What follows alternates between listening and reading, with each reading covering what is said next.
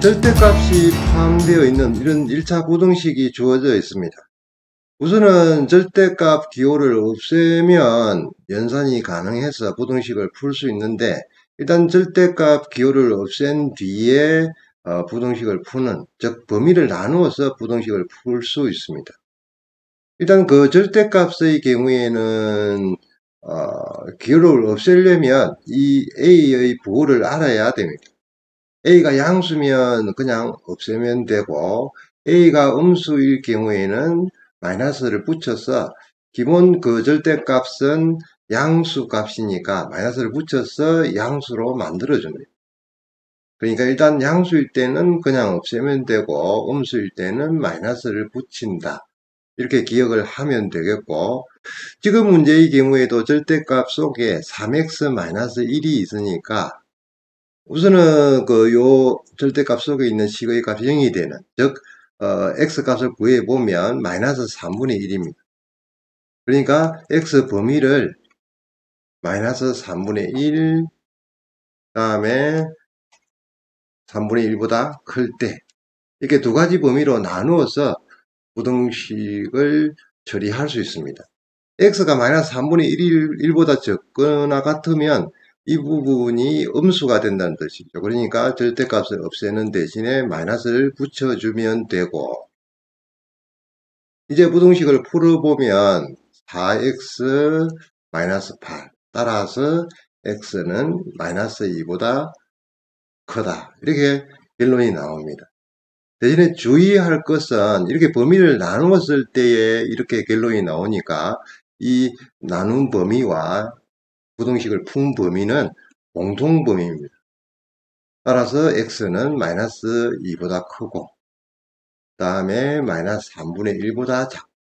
첫 번째 결론은 이렇게 나오고 x가 마이너스 3분의 1보다 크면 이제는 절대값 속에 양수가 되니까 그냥 절대값 기호를 없애면 되고 2x 6이 되니까 따라서 x는 3보다 작다. 역시 어, 공통범위입니다. 따라서 마이너스 3분의 1보다 크고 3보다 작다. 다음에 어, 첫 번째 이 결론, 두 번째 이 결론. 이 두 개는 합집합의 의미입니다. 따라서 합쳐야 되고, 따라서 어, 합집합의 경우에는 x는 마이너스 2보다 크고 마이너스 아, 3보다 작다. 그러니까 부등식은 이렇게 풀어집니다. 어, 이때 정수 x를 구해야 되니까 마이너스 1, 0, 1, 2 이렇게 정수는 4개가 나옵니다. 합을 구하려면 정수의 합은 2가 되고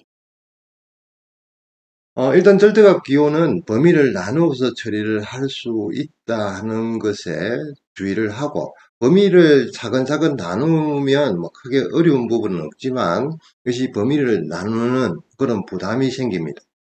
그 다음에 주의할 것은 아까 어, 요 나눈 범위 내에서 부등식을 푼 결과 이 두 개는 공통 범위여야 하고 다음에 첫 번째 두 번째 어, 요 결론들은 합집합의 의미입니다. 그 부분을 주의를 해 주시고 어, 역시 다음에 우리가 그래프를 이용해서 문제를 풀 수 있습니다. 그래프를 이용하려면 조금 그 식을 어, 조금 이항을 시켜서 정리를 하는 것이 조금 좋습니다. 그러면 7을 왼쪽으로 이항을 시키면 어, 그래프로 보게 되면 이 1차 함수 그 다음에 이 절대값이 있는 함수 역시 1차 함수가 절대값이 있는 함수보다 위쪽에 있는 위쪽에 있는 부분에서 x 범위를 구하는 것이 이 부등식의 의미입니다. 그러면 일단 그 오른쪽에 있는 오른쪽에 있는 절대값 3x 마이너스 아, 플러스 1. 어, 이 절대값이 한 개가 있을 경우에는 역시 어, 기본 방향은 범위를 나누어서 이렇게 그래프를 그리, 는 건데 절대값 한 개인 1차 함수의 그래프는 V자 모양입니다.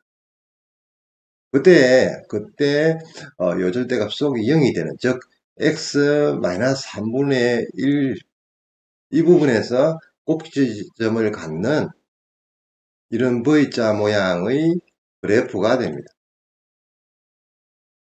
다음에 어, x 플러스 7 대략 보면 이런 형태의 그래프가 됩니다. 그러니까 x 플러스 7 그러면 지금 관은 문제는 x 플러스 7이 절대값이 있는 그래프보다 위쪽에 있는 위쪽에 있는 x 범위를 구하면 됩니다.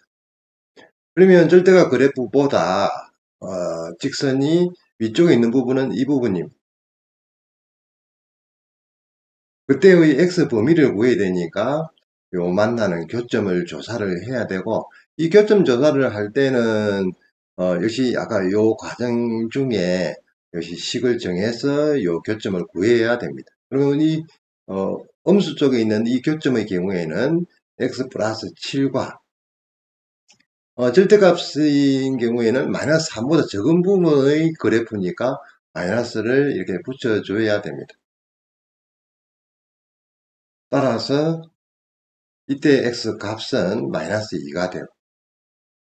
다음에 어, 오른쪽에 있는 이 부분에서는 x 플러스 7과 어, 절대값 있는 그래프는 마이너스 3분의 1보다 큰 범위니까 양수 범위 내니까 따라서 절대값을 그냥 없애면 되고 따라서 2x는 6 되니까 이때 x는 3이 됩니다.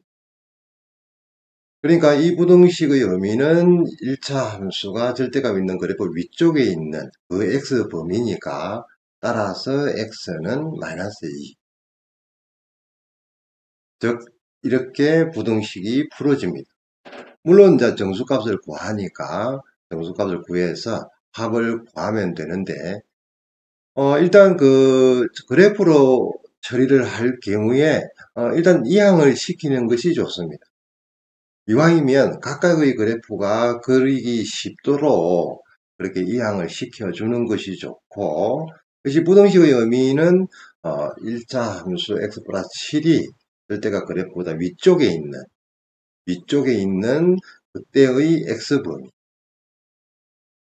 그렇게 그 일단 그래프에서 의미 파악이 되고 나면 이제는 그 요 x 값들만 구하면 되니까 어 일단 그 범위를 나눠서 하는 것보다는 그래프로서 이해하는 것이 조금 전체 개념 이해가 수월하니까 그래프 연습 많이 해 두시기 바랍니다.